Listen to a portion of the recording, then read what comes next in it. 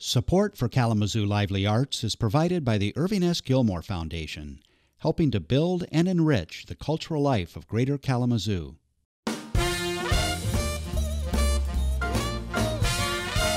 So tell me about this kind of Michigan oriented art that you do. Well, I grew up in Michigan and just have a love for living here, and Kalamazoo is an awesome area, and I just really enjoy being here, and I love the support of the art community. So describe the art that you do. Um, I do a variety of art. I've um, dabbled in a little bit of everything. Uh, recently, I've been doing jewelry and wood signs, so that's kind of what has stemmed the, the wood sign studio. And what kind of questions do you get from your customers that come by today? I just, my favorite part of the show is interacting with customers and just getting to know people in the Kalamazoo area. So thank you for interacting with us. Thank you.